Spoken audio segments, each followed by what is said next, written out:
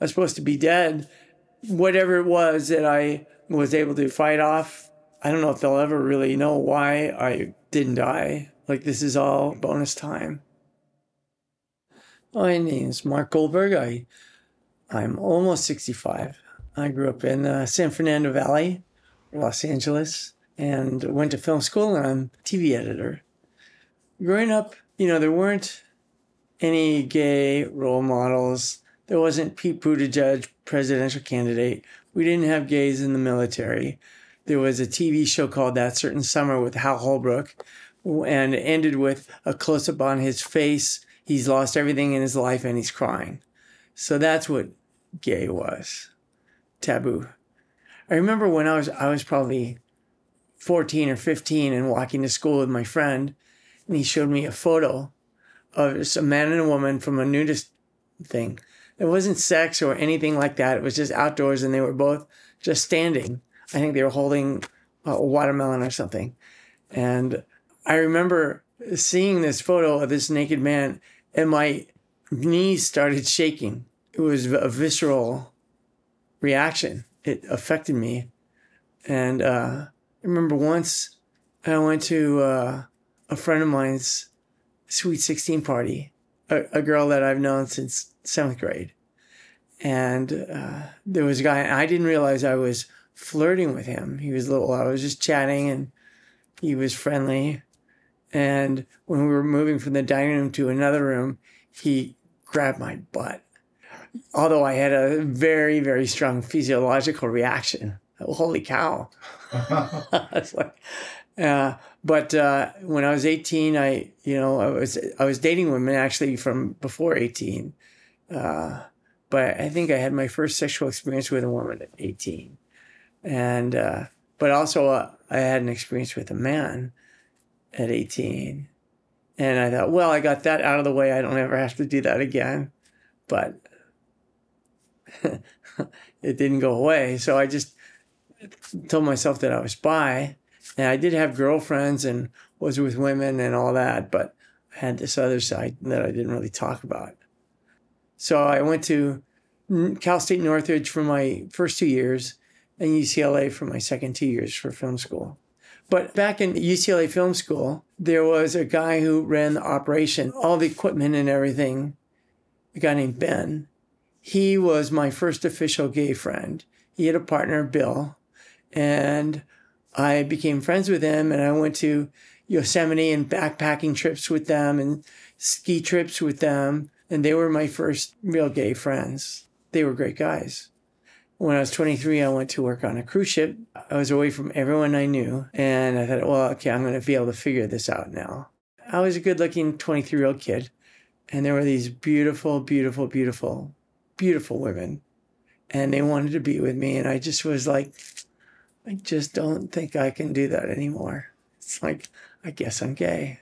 But when I did come out, I was very angry with my father, and it was really due to his alcoholism that I was reacting to and, and all the shit that that brought. If I could do it different, I would. But they got over quickly and and then when I came back home, a couple months later, I met a guy named Gary who became my partner. Laguna Beach at that time was this magical mystery place. They had the gay beach, West Street Beach, and there was this bar called the Boom Boom Room. And it was like Gilligan's Island. It had the bamboo. It was just a wonderful escape. And Laguna was a magical place and it's an art community. And I, I had been seeing someone who lived down there. So I'd go down on weekends, but I, I'd already decided this guy is an asshole. I'm, I'm pretty much done with him. I'll just see it through the weekend. And, but I'm not going to come and see him anymore. One of the things I do in my workout is I'm a swimmer just for exercise. And I guess I had seen Gary on the gym floor and he came up to me and asked me how the chlorine was. And I said, well, feels okay, but I, I'm wearing goggles. But he was just trying to make conversation. We chatted some and he gave me his phone number. And so Gary told me that he knew that I was not a game player because I didn't wait a few days. I called him at 9.05 on a Monday morning because I knew that he was, uh, he was something. we had a great first date, which I remember we saw Victor Victoria, and it's also a great gay first date movie. And the girlfriend who I had, I, I said, you know, I think I might have met someone. And she said, now, if you really like him, make him wait. Don't give it up right away. so I made him wait till like the fourth date. I already knew that we were going to have great chemistry because we had this attraction. So I thought, there's no rush. Let's get to know each other. This is this is right out of the gate. So it wasn't just a, a physical or a sexual thing. It was we were we had already established a, a great rapport and friendship and and all that. He was four years older four years older. So I was 23 and he was 27. He had a few more miles on him, you might say. I mean, I wasn't, you know, brand new, but I was pretty new and he'd already been out and had a lot more experiences than me. I think he was waiting for me to say, I love you first. He loved me so much, it was like unconditional. And I felt the same way. And someone once asked him uh, if he was like jealous because we, you know, we'd go to the beach a lot. That was our thing that you know people in their 20s do they go to the beach. Uh, and i talked to other people and someone said do you mind that mark flirts with other guys or talks to other guys? And he goes no. He always comes home to me. So he would there was never any jealousy or any like i had jealousy issues. And i remember once i was like i was like spinning out of control in my own little made up world of panic or what have you and he like made me sit down and talk to him about something and he was good at making me communicate. And uh, we were on a trip and he was with two of his exes that were had, they had all been roommates but they had all gone out and they had such great rapport and they were such beautiful men and i was i was really jealous. So i kind of disappeared and he found me and made me sit down and i said well why are you these guys are so much better looking than me and they're so much more fun and you're having such a great time. he said, Mark, I I know them. I've gone out with them. They're great guys. I love them. They're my friends, but they're not who I want to be with. I want to be their friend, uh, but I want to be your partner. You don't have to be jealous. We're just friends. We have a history, but it's you who I'm, you're the person that I want to be with. So that was like a big life lesson because it taught me like don't like you know you got to communicate. And it turns out i was spinning out of control over absolutely nothing. It was just a matter of communicating.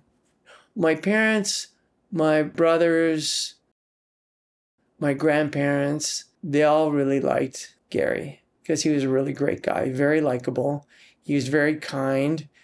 He was handsome and his folks, they adored me because I think they had seen other people that he had been with. And it's like, oh, we love Mark. He's like so much better than these other people he's been with. And they knew that Gary was really happy with me. So I loved his family so much. I was totally part of their family, just like Gary was part of my family.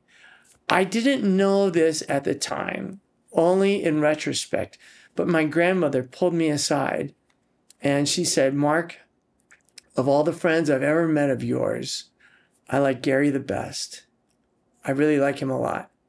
I, I didn't know what she was telling me, but she was telling me, I know Gary's your special friend, and I really like him. They all were crazy about him. And as a matter of fact, when they got older and couldn't do things, he would stop at their house and do their bills and their paperwork for them. so, you know, because he loved them and they loved him so much. Actually, there's this ring, this my uh, family ring that my great grandfather, who I'm named for, designed, and everyone in the family guessed when we were 21, and they had a ring made for him because wow. he's part of the family. Yeah. So it was really nice. Gary at first was really reluctant. Well, we had been together five years, but we weren't living together. And he said, Aren't you concerned? I said, We've been together five years. We're going to live together fine. We already know each other. It's not a problem. And we bought a real fixer upper, but it was a good location, good bonds, and, you know, good deal. We just knew we had to do a whole lot of work. And at first, Gary didn't have the vision, but something clicked. And all of a sudden, he could do electrical, he could do plumbing. You know, I did like hard labor and I could do drywall and I could paint, but he knew how to do more complex stuff. And we fixed up like five or six houses. Yeah, that was that was a, a thing that we did. And I think if he hadn't gotten sick, he would have gotten into real estate because he loved the transaction and the business part of it. Uh, he, he took to it so well. We stopped going to the beach and all of the fun stuff on weekends, and we're just fixing up houses and building our little empire and building, you know, a future. This is might have been 82 or 83.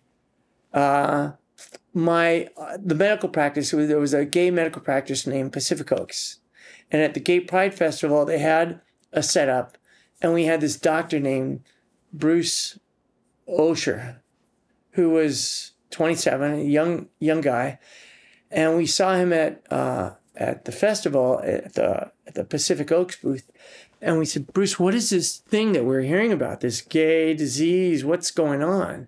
This is before anyone knew anything. And he said, he said, guys, we don't know what it is, but I think when you go to the gym, you should wear long sleeves and long sweatpants because I think it's transferred through sweat. They didn't know anything. This is before.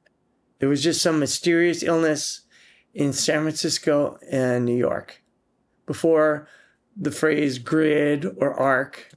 And then I think it was in 86 is when they came out with a test. They, they knew it was a virus and you could get tested for it.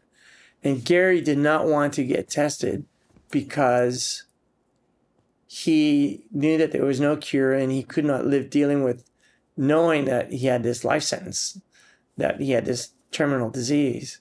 But our best friend, a guy named Mark Coleman, went and got tested and he was positive. So I thought, well, I'm going to go and get tested because I know that I can handle knowing and I want to know. Uh, and I was positive.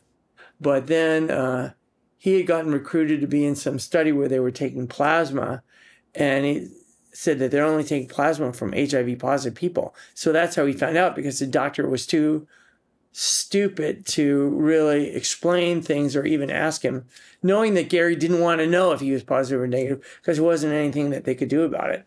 And I feel like I had to have gotten it from him because A, he was four years older, had a lot more experience. And sometime within that first year that we were together, I was probably seroconverting because I got uh, a high fever for five days and couldn't go to work. And that never, ever happens. Like if I ever get a fever, it's maybe 100 for a couple of hours.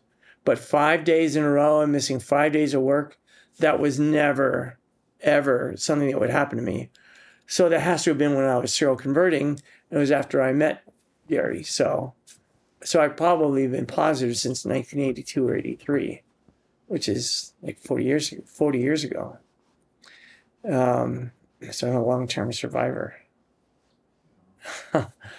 so with Gary, I remember hearing this horrible sound, and that was Gary throwing up.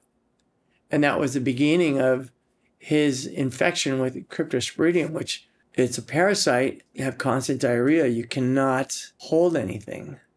He lost 40 pounds and, you know, he had to go on disability. And it was a nightmare seeing him deteriorate and waste away and lose all that weight because he was a big, strong, beautiful man, big, strong, beautiful man, and waste away.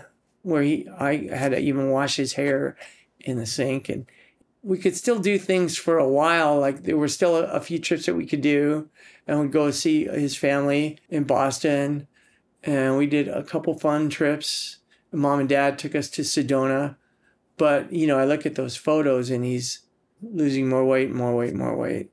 There was no cure for or proper treatment for uh, cryptosporidium. And and then because it had weakened his system so much, he started getting KS lesions and being so thin. So th- there was this show Roseanne, and it got to the point where the only thing that Gary could do is sit up in his bed for half an hour to watch Roseanne. That's the only thing he could do. And friends would come over just to watch Roseanne with Gary because they knew he would be up and alert and could laugh and be with him. But that was it a half an hour. And, you know, the doctors, he'd been in and out of the hospital all that time, and there's nothing that they could do. I remember there was his birthday dinner, and he couldn't get out of bed to come. His parents were there, my parents were there, uh, other family. He couldn't get out of bed to join us for his dinner. And we all knew it was his last birthday. He died when he was 38. And it took me a long time to stop blaming myself because I thought, oh, if I could have only made him eat this or that or this or that. But he, he died in um, 1993 and the proper drugs didn't come out till 96. So at a certain point, I had to just say, Mark, you couldn't have stopped him. It was three years before. People died of AIDS. It was out of my power, no matter what I might have made him eat. You know, it was three years before the right meds came out. Well, I'm kind of still re- recovering, to tell you the truth. Um, but uh, it was really hard. If if I didn't like him or love him or something, it might have been easier.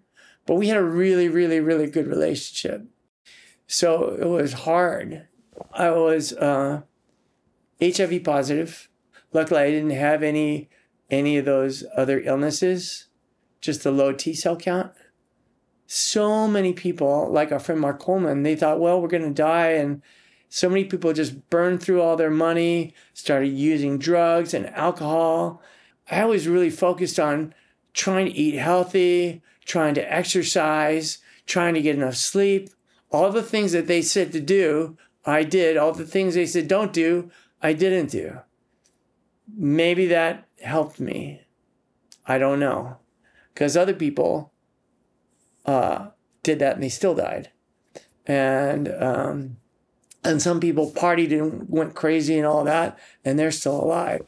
So, you know, they don't know if it's like the the genetic strain that I had or my body was just more capable of fighting it. They still don't really know. But I made it.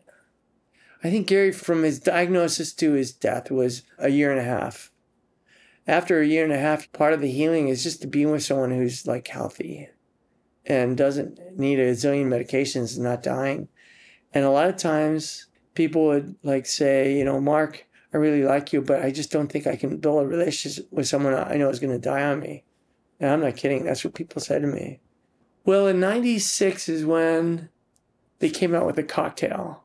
Some people still didn't make it, but plenty of people who were much more dead than living were brought back from the very, very edge.